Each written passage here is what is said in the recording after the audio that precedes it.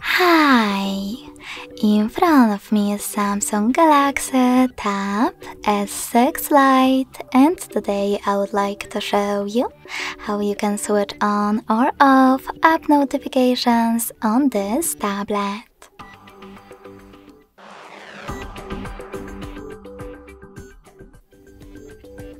First of all, go into settings.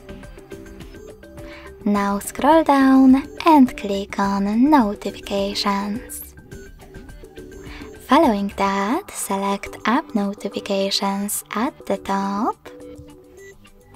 Click on all and pick one of those filters. In my case, most frequent.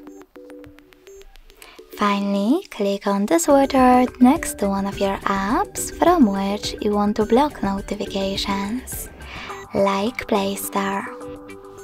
You can switch them back on the same way.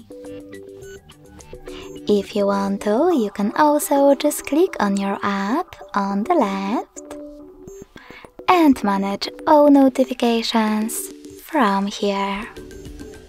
Thanks so much for watching. If you enjoyed this video, leave a like, comment and subscribe. Bye!